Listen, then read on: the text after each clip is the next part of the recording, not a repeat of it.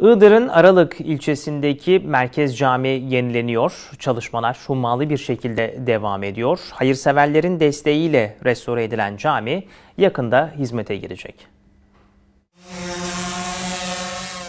Aralık Merkez Cami yenileniyor. Ülkemizin 3 ülkeye sınırı olan Iğdır ilinin 3 ülkeye de sınırı olan tek ilçesi. Aralık Merkez'de bulunan Karasu Camii'nde restorasyon çalışmaları tüm hızıyla devam ediyor.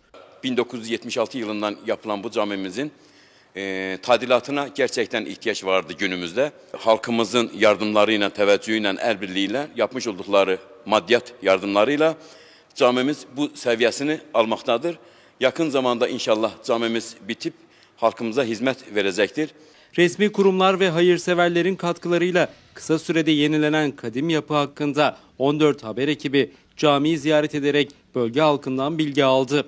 Bütün Türkiye'de hangi camiye gelirsen 12 imamın adı yok. Bu içimde bir yaraydı. Allah bu hocalarımızdan razı olsun. Bunlar da 14 masumun isimleri olan bir cami yaptılar.